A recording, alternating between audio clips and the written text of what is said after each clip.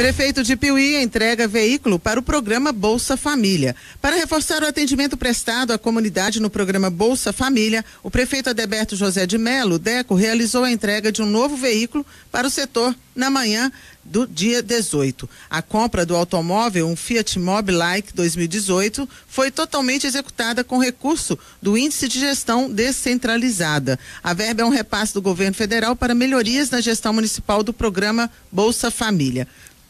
Para a secretária de Assistência Social, Ariane Soares, a aquisição desse veículo é de grande importância para o Bolsa Família, pois além de facilitar a questão logística do setor, possibilitará o alcance às famílias que, por conta da dificuldade diversa, não conseguem chegar ao setor.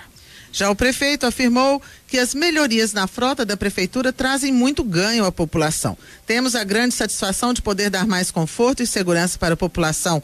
Esse veículo veio a acrescentar a nossa frota de forma que poderemos auxiliar mais famílias que necessitam de apoio. A renovação e cuidado com a frota tem sido uma de nossas preocupações e o setor responsável tem desenvolvido tudo de forma eficiente. Este é mais um ganho para o cidadão que realmente precisa, comentou Deco.